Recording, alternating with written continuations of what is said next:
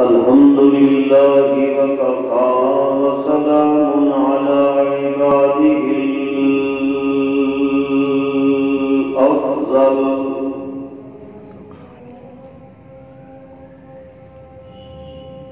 نشهد أن لا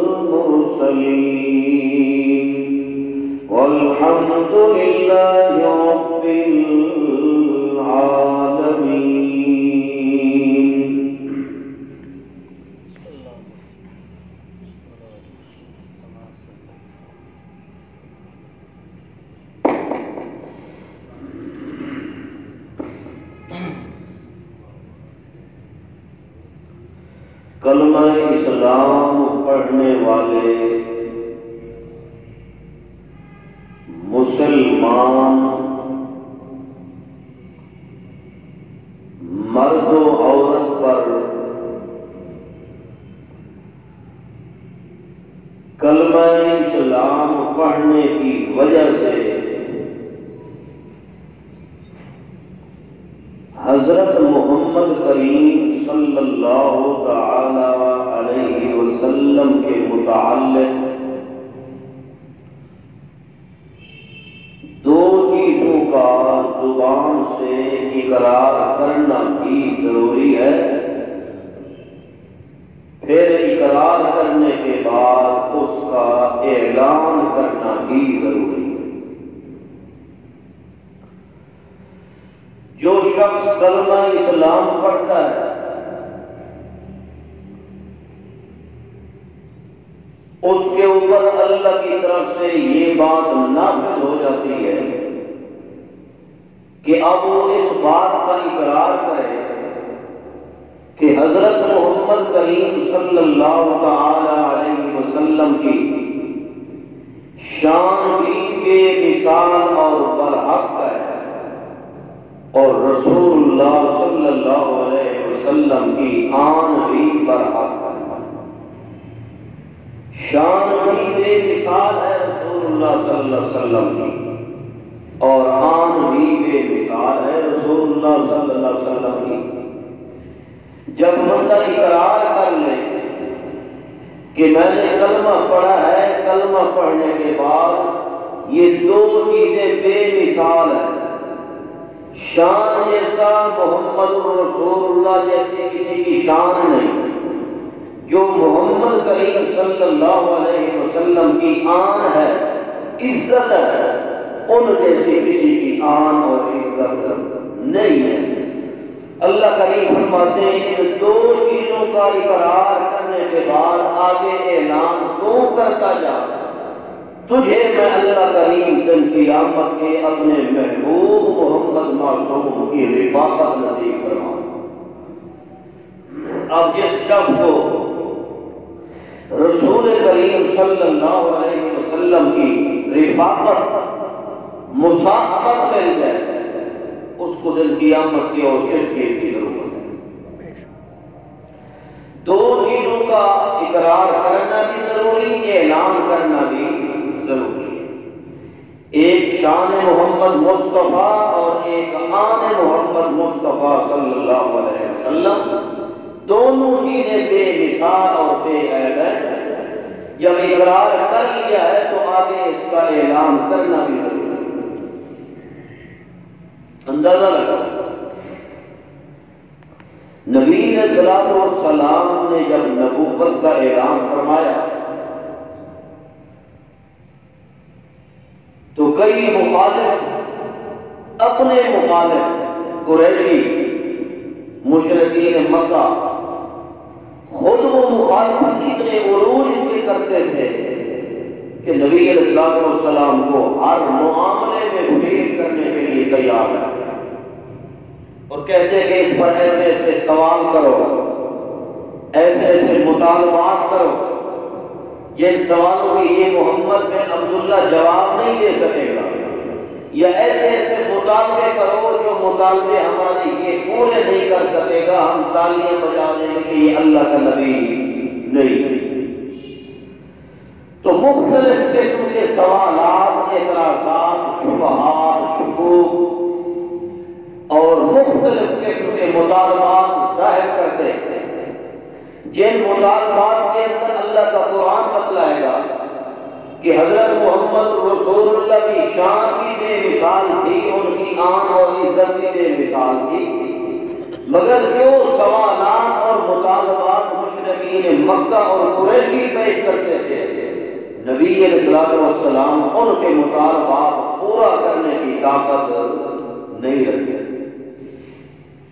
اللہ کے رسول فرماتے کہ جو بے ذمہ کام ہے، میری جو اللہ نے شان بنائی ہے قرآن مقدس کے اندر، وہ بے مثال ہے، میری عزت بے مثال ہے۔ پہلے تو میری شان اور ایمان، میری شان اور آن عزت پر ایمان لے ہو۔ اس کے بعد میں اللہ کا پیغمبر خود اللہ کے سامنے آج سے کر کے تمہارے مطالبات اللہ کے سامنے رکھوں گا، میرے اندر تمہارے مطالبات پورا کرنے کی طاقت ہے ہی۔ مختلف قسم کے سوالات۔ اس لیے اللہ نے قانون بیان کیا ہے قرآن کا جو بھی کلمہ پڑھنے والا مسلمان ہے، اللہ فرماتے ہیں، جب مسلمان بندے سے کوئی پوچھے کہ محمد رسول اللہ کیا چیز ہے؟ تو اللہ فرماتے ہیں قرآن مقدس کا علم ہو تو کلمہ پڑھنے والا مسلمان کہے کہ فلاں بندے، فلاں شخص، تو نے ہمارے نبی کے متعلق پوچھا ہے کہ وہ کیا چیز ہے؟ میں قرآن مقدس پڑھ کے بالکل الگ اعلان دھڑلے کے ساتھ کہہ رہا ہوں کہ ہمارے نبی کا شان بھی برحق ہے، ہمارے نبی کی آن اور عزت بھی برحق ہے۔ ان دو چیزوں کا بندہ اقرار اعلان کرتا جائے۔ اللہ فرماتے میرا وعدہ ہو گیا ایسے بندے کی زندگی کے اندر برکات کا نزول بھی اللہ میں خود فرما مگر ان دونوں چیزوں کی پہچان کرنا ضروری ہے کہ شان محمد مصطفیٰ بھی برحق ہے اور آن محمد مصطفیٰ، عزت محمد مصطفیٰ وہ بھی برحق ہے۔ شان محمد رسول اللہ پر ایمان رکھنا جیسے ضروری ہے، ایسے حضرت محمد کریم صلی اللہ علیہ وسلم کی آن اور عزت پر ایمان رکھنا بھی ضرور ہے۔ اب قرآن پاک کے پندرہ سپارے میں سورہ بنی اسرائیل سورہ بنی اسرائیل میں مشرقین مکہ نے قریشیوں نے چھ قسم کے مطالبے پیش کیے کہ آپ ہمارے یہ مطالبے پورے کر دیں، آپ صلی اللہ علیہ وسلم سے کہنے لگ گئے۔ ہمارے یہ آپ مطالبات پورے کر دیں، ہم آپ کو اللہ کا سچا نبی مانیں اندازہ لگا اور ایسے چھ مطالبات انہوں نے پیش کیے ہیں جو مخلوق کی طاقت میں نہیں، وہ کرنے والا کون ہے؟ اللہ کی راہ۔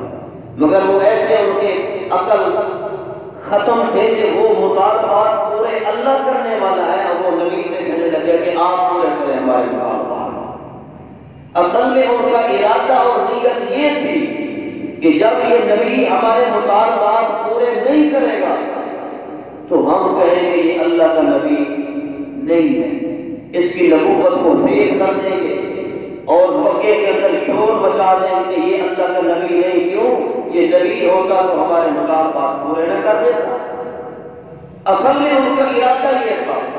مگر اللہ کریم نے جو جواب قرآن مقدس میں دیا ہے، قربان جاؤں اللہ کے کلام قرآن مقدس کے اوپر۔ اللہ نے جواب مختصر دیا ہے، مگر ایسا جامع مانے جواب دیا ہے کہ اس چھوٹے سے جملے کے اندر اللہ نے سارے مشرقین کے سوالات کا اللہ نے جواب دے دیا۔ جملہ ایک ہے، مگر اس میں ایسی وسعت ہے، ایسا ایسی فصاحت و بلاغت ہے جملے کے اندر کہ ان مشرقین کے سارے مطالبات کا جواب اللہ نے ایک جملے کے اندر دے دیا۔ دونوں چیزوں کو ماننا ضروری ہے۔ شان محمد رسول اللہ بھی بے مثال ہے۔ آن محمد رسول اللہ صلی اللہ علیہ وسلم بھی بے مثال توجہ کرو۔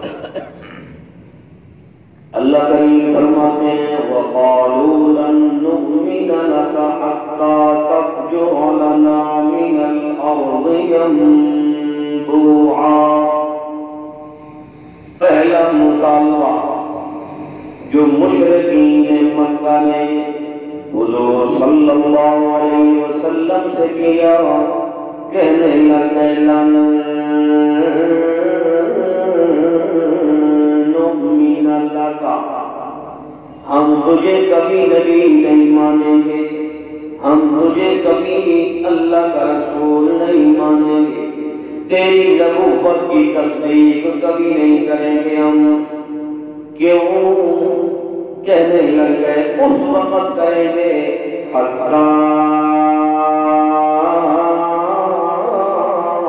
تفجر لنا من الارض ينبوعا۔ اے اللہ کے نبی، جب آپ ہمارا مطالبہ پورا کر دیں تو پھر ہم آپ کو اللہ کا نبی مانیں گے۔ کون سا مطالبہ ہے تمہارا؟ کہنے لگ گئے تفجر لنا من الارض ينبوعا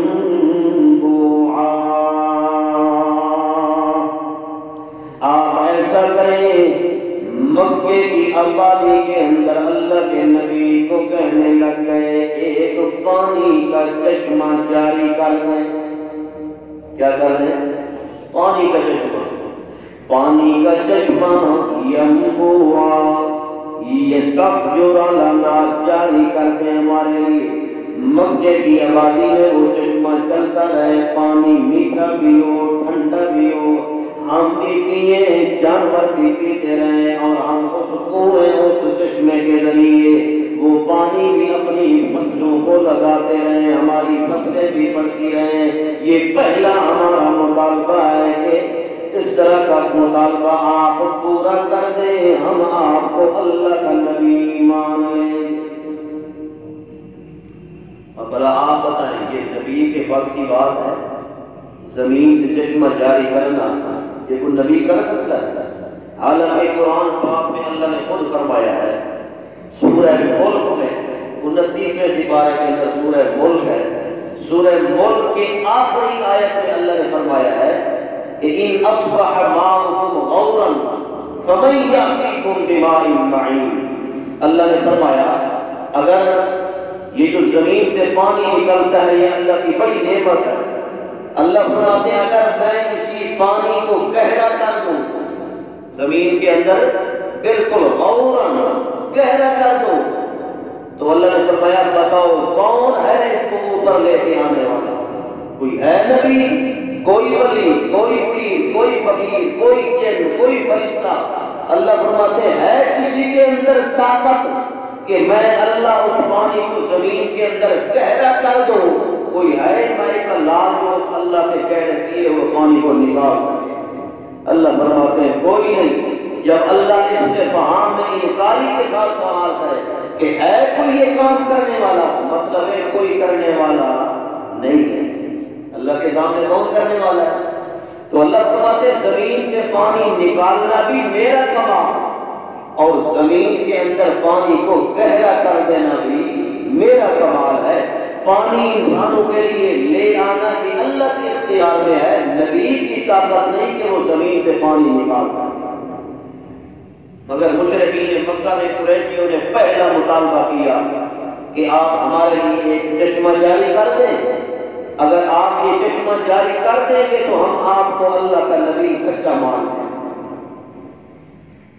دوسرا مطالبہ، او تكون لك جنة من نخيل وعنب فتفجر الأنهار خلالها تفجيرا دوسرا مطالبہ ہمارا یہ ہے کہ آپ ایسا کریں، ہماری آنکھوں کے سامنے آپ کے آپ کی ملکیت کے اندر کھجوروں کا باغ آپ کا انگوروں کا باغ لہلاتی فصلیں ہوں آپ کی اور آپ کے سامنے، آپ کی ملکیت کے اندر آپ کے کھجورے بھی سامنے ہوں، انگوروں کے باغات بھی ہوں۔ سارا کچھ موجود ہو، ہم اس میں چلتے پھرتے رہے کھاتے پیتے رہے ہم سے پوچھنے والا کوئی نہ ہو۔ اور ایسے باغات نہ ہو فتفجر الانہار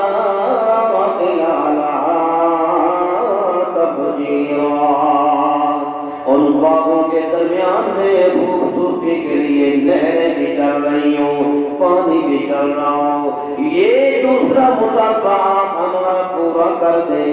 اس کے بعد ہم آپ کو اللہ کا سچا نبی مان لیں۔ مشرق اور شرک کرنے والے کا جب بھی مطالبہ ہوگا تو دنیا کا ہوگا۔ یا کھانے پینے کا ہوگا یا دنیا کا مطالبہ ہوگا۔ آخرت کے بارے میں اس کو فکر کبھی آتا ہی کوئی نہیں۔ اب دیکھ رہے جتنے سوالات مطالبات آ رہے ہیں، سارے اسی دنیا کی مطالبے یا کھانے پینے کے مطالبے۔ اس لیے اللہ نے قرآن کے ذریعے سمجھا ہے انما الحیات الدنیا لعب و لہو۔ یہ دنیا کھیل تماشا ہے۔ یہ مقصد کی چیز نہیں ہے۔ بندہ کہے کہ آرام سکون سے بھی کھائیں پیئیں اور یہ طعام کو کھانے پینے کو مقصد زندگی بندہ بنا کے زندگی بسر کرتا رہے تو کھانا تو جانور بھی کھاتے ہیں، انسان سے اچھا کھاتے ہیں۔ تو پھر حیوان اور جانور میں انسان میں کوئی فرق نہیں ہے۔ اصل زندگی گزارنے کا مقصد ہے اللہ کو راضی کرنا۔ پیغمبر کا تر طریقہ انسان کے اندر آ جائے، وہ اصل مقصد ہے۔ مگر نہ دنیا اصل مقصد ہوتی، تو اللہ کبھی دنیا کو لعب لائق اور کھیل تماشا نہ فرماتا۔ فرمایا انما الحیات الدنیا لعب و جو کچھ دنیا کی خوبصورتی ہے، وہ زینت تمہیں نظر آ رہی ہے۔ یہ صرف کھیل تماشا ہے، چند دنوں کا۔ جب آنکھیں بند ہوئی جسم سے روح نکلا، تو ہر چیز ختم ہو کے رہ گئی ساری دنیا یہاں رہ گئی۔ کہنے لگے دوسرا مطالبہ ہمارا یہی ہے کہ تیرے باغوں انگوروں کے، کھجوروں کے، اس میں نہریں بھی چل رہی ہوں۔ اگر یہ مطالبہ پورا کر دے تو اللہ کا نبی، تو ہم تیرے تجھے نبی ہی مان لیں گے۔ تیری نبوت کی تصدیق کر لیں گے تو باقی اللہ کا سچا نبی ہے۔ تیسرا مطالبہ کرنے لگے أو تكون لك بيت من زخرف. یا پھر ایسا کر، پچھلے دو مطالبے پورے نہیں تو کر سکتا اللہ کا نبی. تو تیسرا مطالبہ یہ ہے کہ تیرا گھر سونے کا بن جائے. تیرا گھر کیا بن جائے؟ من زخرف. سونے کو بن جائے. بڑی بات ہے کیونکہ نے یہ کہا کہ تیرا گھر بن جائے، ہمارا نام ہے. او تکون لک بیت من زخرف. ہمارے آنکھوں کے سامنے سے چٹکی مار، چٹکی مارنے کے اندر تیرا گھر سارا سونے کا بن جائے۔ اللہ کے پیغمبر سن رہے ہیں مطالبات ان کے۔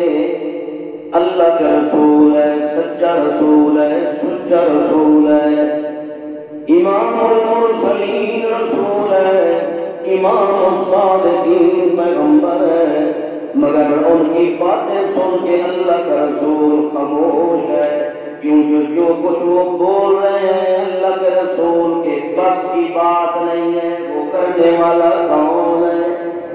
اس لیے تیسرا مطالبہ کرنے لگے، جناب او تکون لگا بیت من زخرف تیرا گھر سونے کا بن جائے تو تب ہم تجھے اللہ کا سچا نبی مانیں گے۔ اللہ کے پیغمبر آگے سن رہے ہیں، چوتھا مطالبہ کرنے لگ گئے او ترقا فی السماء یا تو ایسا کر، ہماری آنکھوں کے سامنے آسمان پر چڑھ جا۔ کہاں چڑھ جا؟ او ترقا فی السماء. ہماری آنکھوں کے سامنے تو اگر اللہ کا نبی ہے، اللہ کا سچا رسول ہے، تو ہماری آنکھوں کے سامنے آسمان پر چڑھ جا۔ اور تیرا آسمان پر چڑھنا بھی ہم قبول نہیں کریں گے۔ ایسے کیسے پانچواں مطالبہ، آسمان پر چڑھنے کے بعد ایسا کر ولا نؤمن لرقیک ہر نہیں ہم تیرا چڑھنا قبول کریں گے۔ پھر کیسے قبول کرو گے؟ کب مانو گے؟ کہنے لگ گئے ہماری آنکھوں کے سامنے آسمان پر چڑھ جا۔ چڑھ جا، کیا کر کے آ؟ تو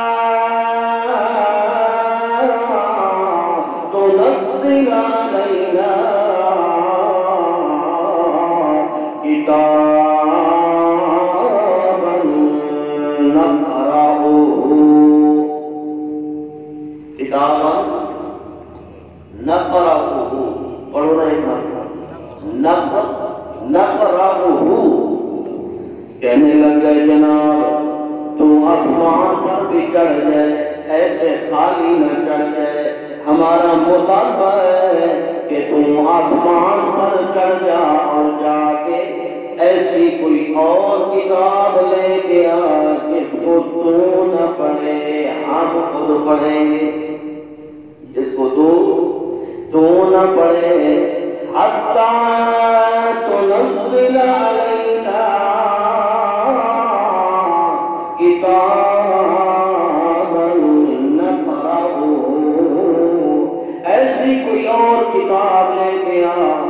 یہ قرآن نہیں ہمیں برداشت ہوتا، اس کے علاوہ کوئی اور کتاب لے کے آ۔ جس کتاب کے اندر ہمارے مقصد کی باتیں ہوں ہماری دنیا کی زیب و زینت کی باتیں ہوں جو کچھ ہم کر رہے ہیں، وہ جائز ہو حلال ہو کوئی اور نئی کتاب لے گیا اور کتاب لے کے تو جب آ جائے گا تو تو نے نہیں پڑھنی، بلکہ کون پڑھے گا؟ بولو، نہ کراؤ ہو بلکہ خود ہم پڑھیں گے اور ہم جیسے مرضی سے چاہیں گے، پڑھیں گے۔ تیرے پڑھنے کی ضرورت نہیں ہے۔ یہ قرآن جو ہے، یہ ہمیں برداشت نہیں ہوتا، کیونکہ اس قرآن کے اندر جو کچھ ہے، ہمارے خلاف ہے۔ جب نئی کتاب لے کے آ جائے گا تو وہ ہم پڑھیں گے اپنی مرضی کے ساتھ، جیسے چاہیں گے، الٹے سیدھے حال چلائیں گے اس میں۔ ہمارے سے پوچھنے والا کوئی نہیں ہوگا۔ یہ ہمارے مطالبات پورے کر قرآن غیر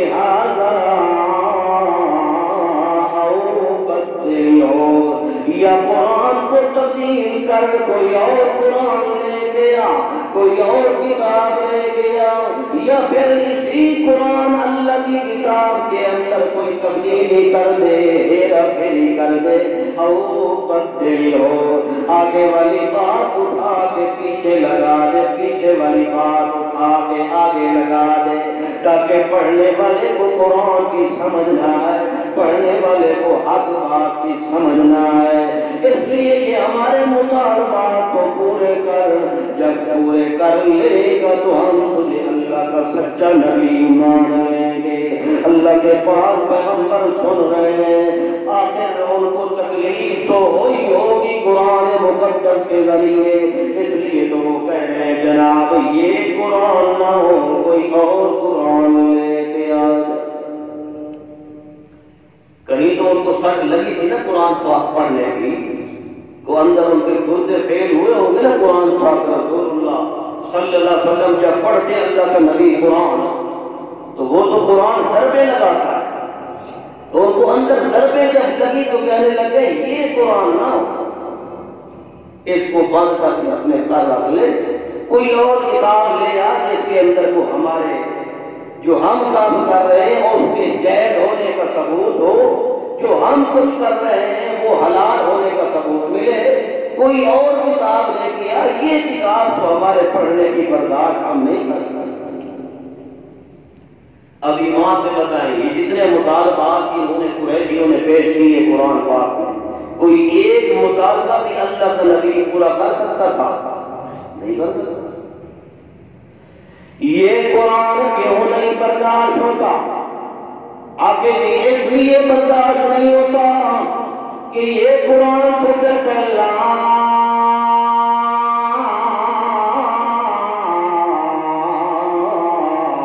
يخلقون شيئا وهم يخلقون یہ اللہ کا قرآن تو کہتا ہے جناب۔ جن جن کی تم سوچو پکار کرتے ہو، جن کو تم خدا سمجھتے ہو جن کو تم حاجت روا کبھی سمجھتے ہو جن کو تم دستگیر غریب نواز سمجھ رہے ہو۔ یہ قرآن تو کہتا ہے، لا یخلقون شیئا۔ شیئا۔ جن کو تم خدا سمجھتے ہو، نبی ہے، ولی ہے، پیر ہے، فقیر ہے، جن ہے، فرشتے ہیں بت ہے جن جن کو تم خدا سمجھتے ہو اللہ کا قرآن کہتا ہے لا یخلقون شیئا وہ تو ایک کپ کے برابر پیدا کرنے کی طاقت نہیں رکھتے کچھ نہیں پیدا کر سکتے کچھ نہیں پیدا کرنے کا کمال رکھتے بلکہ اللہ کا قرآن کہتا ہے اللہ کریم نے فرمایا یا ایوہ الناس ضرب مثل فاستمعوا ان الذين تدعون من دون الله لن يخلقوا ذبابا ولا اجتمعوا اللہ فرماتے ہیں، جن کو تم خدا سمجھتے ہو، جن کو تم حاجت روا مشکل کشا سمجھتے ہو، قرآن ان کے بارے میں مکھی کے کھانے سے آ کے کچھ اڑا کے لے جائے وہ مکھی سے واپس چھڑانے کی طاقت نہیں رکھتے۔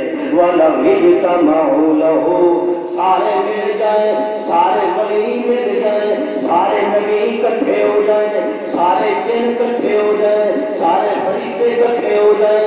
اللہ فرماتے والا کا ماحول سارے اکٹھے ہو کے مل جائیں۔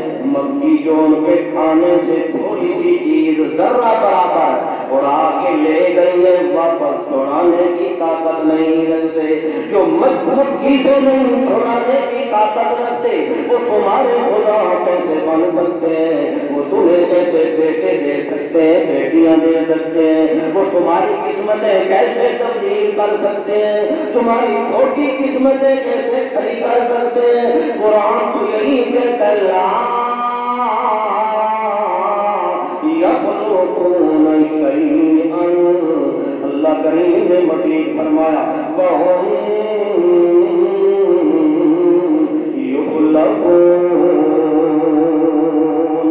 وہ تو خود پیدا کیے گئے جو اپنی تخلیق کے اندر، اپنی پیدائش کے اندر، میں اللہ کے محتاج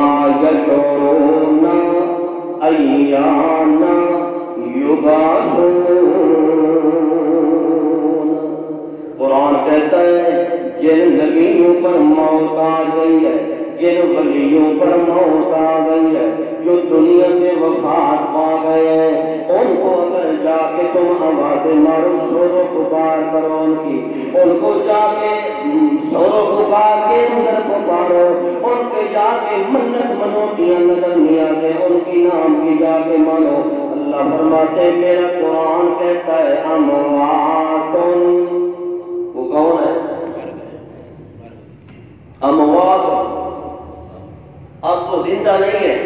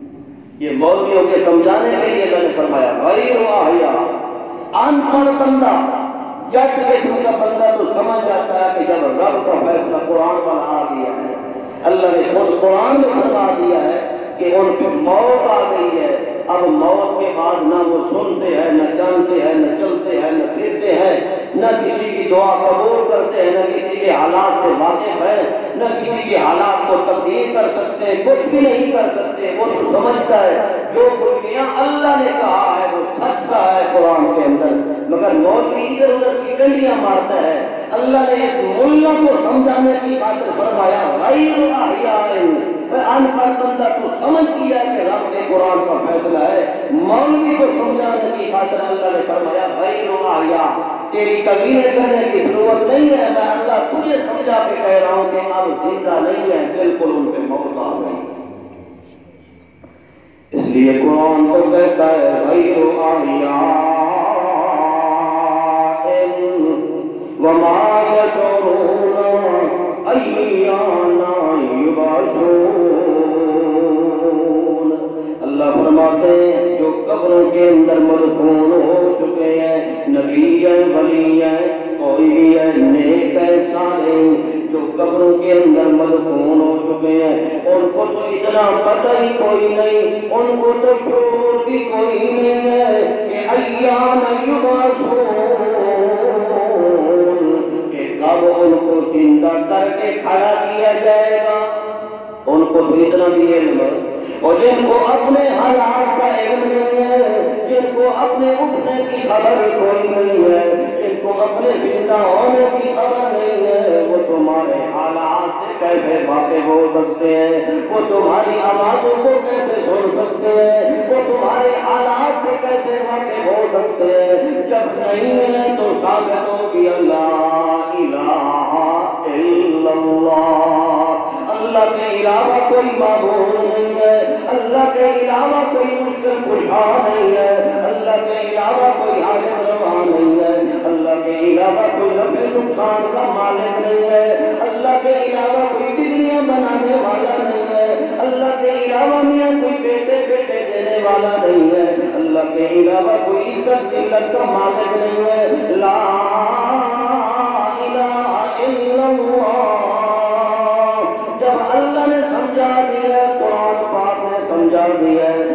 اللہ فرماتے میرا پیغمبر بھی قرآن پڑھ کے سمجھا رہا ہے۔ لا املک لنفسی نفعا ولا ضرا الا ما شاء اللہ۔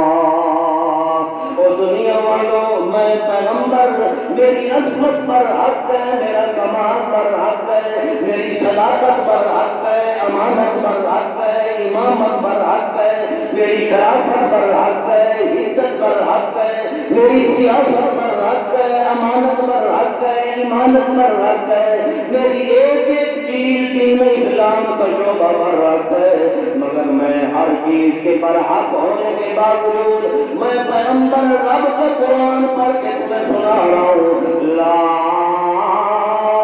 املک لنفسی نفعا ولا ضرا الا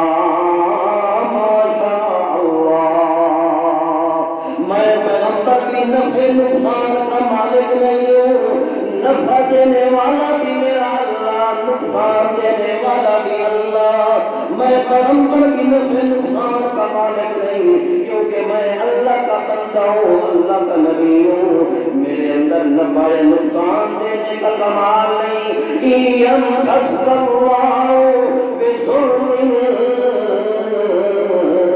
فلا کاشف له الا هو۔ اللہ کریم کے پیغمبر قرآن پڑھ کے سنا رہے اگر اللہ ارادہ فرما لے میرے محبوب محمد رسول اللہ کے متعلق کہ ضرر کوئی تھوڑی سی تکلیف دینے کا اللہ ارادہ فرما لے تکلیف دے دے پیغمبر کو، تو اللہ کے پیغمبر فرما رہے ہیں، میرے اس آئی ہوئی تکلیف کو کوئی ہٹانے والا نہیں ہے۔ فلا کاشف له الا هو اس میری تکلیف کو دینے والا بھی میرا اللہ تکلیف کو ہٹانے والا بھی میرا اللہ پاک ہے۔ وہی یرید کبھی خیر فلا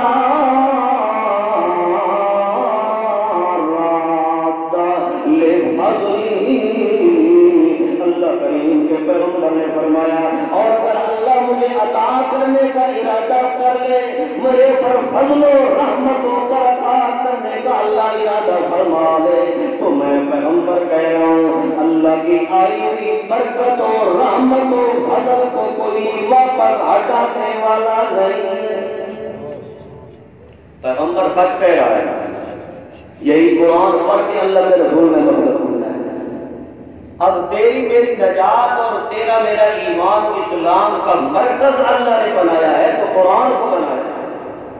جب تک میرے اور آپ میں قرآن کی سمجھ پہچان نہ ہے میں کتنی جماعتیں بناؤں فلانی جماعت میں داخل ہو جاؤں، میرے مسلمان ہونے کا قطعا کوئی فائدہ نہیں، جب تک کہ قرآن مقدس کی سمجھ اللہ نصیب نہیں کیونکہ امام الانبیاء محبوب پیغمبر کا اصلی مشن قرآن ہے۔ اصلی مشن کیا ہے؟ قرآن۔